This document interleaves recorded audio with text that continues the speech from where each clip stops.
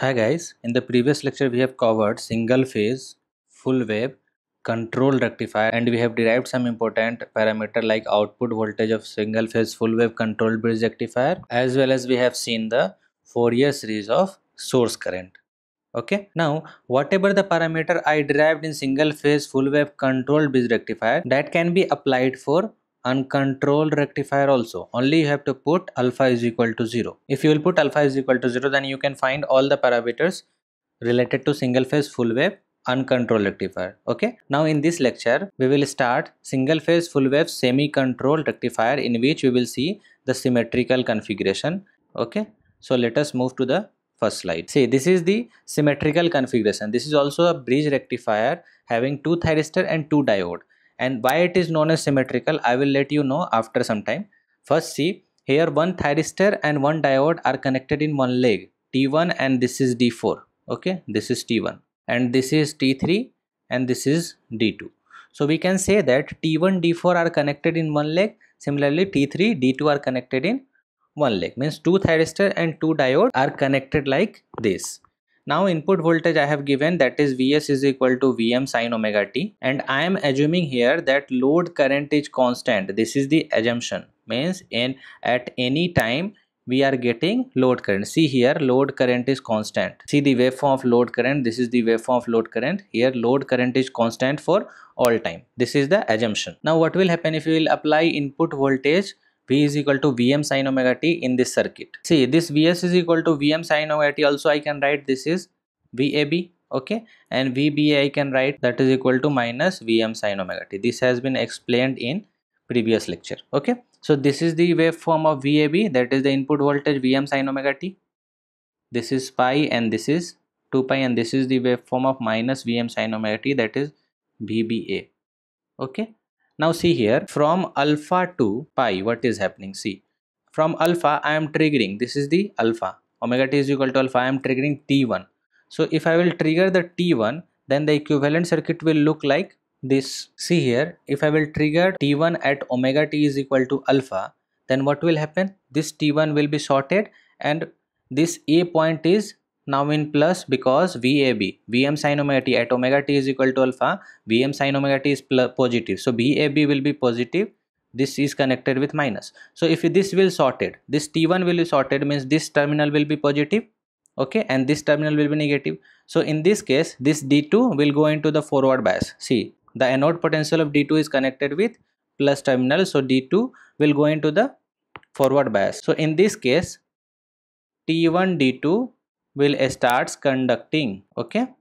And output voltage I will get that is equal to VAB apply KVL here. You will get output voltage is equal to VAB that is equal to Vm sin omega t.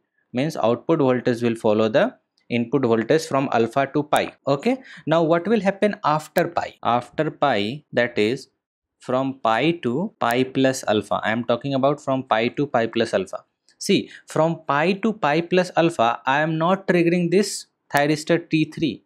T3 is triggered at pi plus alpha. So after pi, supply voltage is going to be reversed.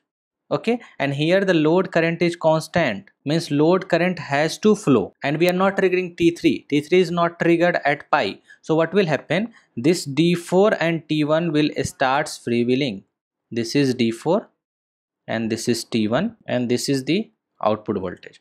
So after pi that is pi from pi to pi plus alpha supply voltage is going to be reversed and we are not triggering T3 and we are assuming that load current is constant means load current has to flow. So after pi this T1 and D4 will starts conducting and this, this D2 will turn off. Why this D2 will turn off? Because after pi the supply voltage is going to be reversed means this B terminal is connected to plus and this A terminal will be negative after pi. So the cathode potential of this D2 is positive. So this D2 stops conducting and now the current will flow from D4 and T1.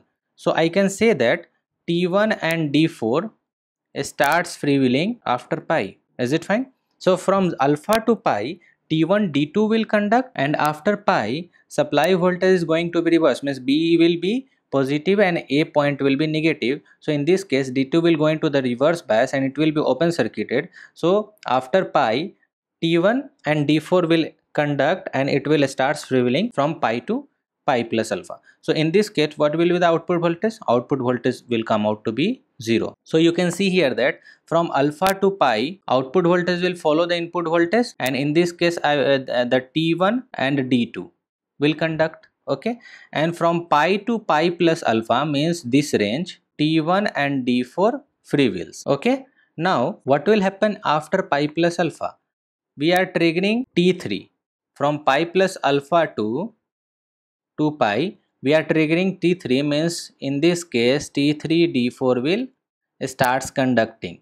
So I will get output voltage V0 is equal to VBA that is equal to minus Vm sine omega t is it fine draw the equivalent circuit you will understand that this T3 and D4 will conduct after pi plus alpha because at pi plus alpha T3 is triggered so the moment when you trigger the T3, then this T1 will go into the reverse bias and it will be open circuited. So output voltage we will get from T3 D4 that is equal to VBA. If you will make equivalent circuit, then you will get V0 is equal to VBA. So after pi plus alpha, you can see that V0 will follow the VBA like this and it will, it will follow till 2 pi. And in this case, which, which one is conducting? T3 and D4 is conducting. Okay? Now see here. If i'll have to draw the waveform of source current this is source current. Okay? So how the source current will look like? See from alpha to pi which one is conducting? T1 and d2 is conducting so if i will draw the equivalent circuit then the source current the direction of source current will will look like this and it will pass through t1 then this is I0 then this is load. And this is d2 t1 and d2 are conducting like this. So you can say that I0, the direction of I0 and source current are same from alpha to pi. So source current will be is is equal to I0. okay? From pi to pi plus alpha which one is conducting? T1 and d for free wheels. We have seen earlier. So t1 and d4 will free wheels means the load current will free wheel through this T1 and D4 like this I naught will free wheel this is I naught so I naught current will free wheel from T1 and D4 so source current. In this case source current will be 0 IS is will be 0 because it is sorted. I1 will follow the sorted path so I will not get the source current. So from pi to pi plus alpha source current will be 0 okay? Now what will happen after pi plus alpha? So from pi plus alpha to 2 pi again which one is conducting? T3 and D4 is conducting. So if T3 and D4 will conduct then this is source current IS and this is connected with A now D4 is conducting. So this is D4 this is point B. This is T3 this will be somehow like this. And this is I naught. Now you can see that this I naught is flowing opposite to the source current. See here. So I will get Is is equal to minus of I naught. So from pi plus alpha, this is pi plus alpha to 2 pi, I am getting minus I naught. Okay. And from alpha to pi, I am getting plus I naught. And in the in between pi to pi plus alpha, I will get source current is equal to 0. Same operation is done before that is lecture number 12 in full wave controlled bridge rectifier. I found the source current there like this approach only. So here the source current I am getting from alpha to pi and then from pi plus alpha to 2 pi.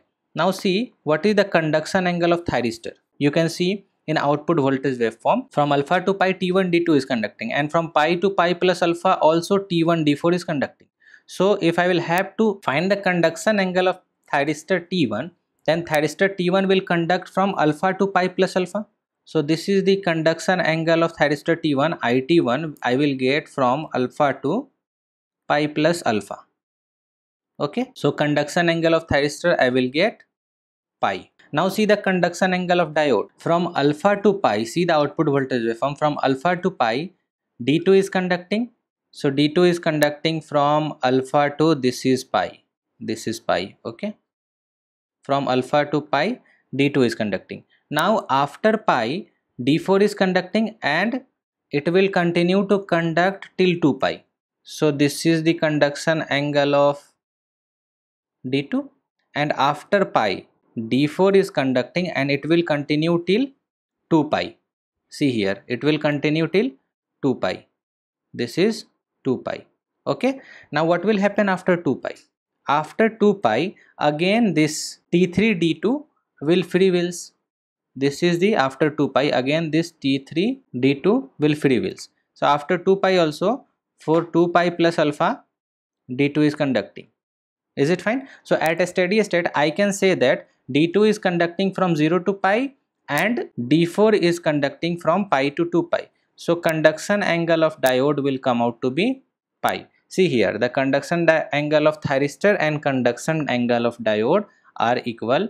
That's why it is known as symmetrical configuration. In symmetrical configuration conduction angle of diode and conduction angle of thyristor are equal. In all the semi control device that is the symmetrical, asymmetrical and full converter with freewheeling diode, output voltage, waveform of output voltage and waveform of source current are same. Okay, only the difference in conduction angle of diode and thyristor. We will get different conduction angle in diode and thyristor in all the three configuration that is symmetrical configuration, asymmetrical configuration and full converter with freewheeling diode. So I will not derive the V0 and IS right now.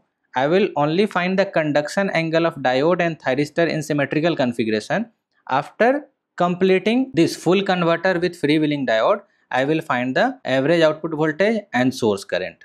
Okay, in this way we can plot the output voltage waveform, source current waveform, thyristor current waveform as well as diode current waveform. So in symmetrical configuration, the conduction angle of diode and thyristor are same that is equal to pi okay? And the uh, average output voltage i will find after covering all the semi converter because in all the semi converter average output voltage and source current both are same okay? Now if i'll have to find that this is point number one this is point number two and if i'll have to find the circuit turn of time then how will i find? For circuit for finding the circuit turn of time we see the time for which thyristor is in reverse bias. See the thyristor current that is thyristor current we are getting from alpha to pi plus alpha means thyristor is sorted from alpha to pi plus alpha and it is conducting from alpha to pi plus alpha. What will happen after pi plus alpha? After pi plus alpha this T1 will go into the reverse bias and it will continue till in reverse bias till 2 pi okay after 2 pi it will go into the forward blocking mode but we have to find the circuit turn of time so to find the circuit turn of time we see the time for which thyristor is in reverse bias so from pi plus alpha to 2 pi, this thyristor T1 will be in reverse bias. So omega Tc is equal to 2 pi minus pi plus alpha. Okay. So omega Tc I will get pi minus alpha. So Tc will come out to be pi minus alpha upon omega. Okay. Now the thyristor current I am getting from alpha to pi plus alpha okay? And diode angle. Diode conduction angle also i am getting from alpha to pi plus alpha. I can shift the diode current from alpha to pi plus alpha also. At a steady state we are getting from 0 to uh, 0 to pi. So in nutshell i can say that the conduction angle of thyristor and conduction angle of diode are same that is equal to pi. So what will be the it average?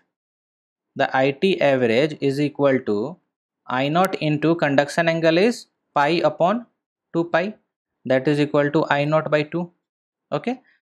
Similarly it rms i can find like i naught under root pi conduction angle upon time period 2 pi that is equal to i naught by root 2 id average will come out to be i naught by 2 and id rms will come out to be i naught by root 2 here id average and it average both are same because conduction angle of thyristor and conduction angle of diode are same in symmetrical configuration.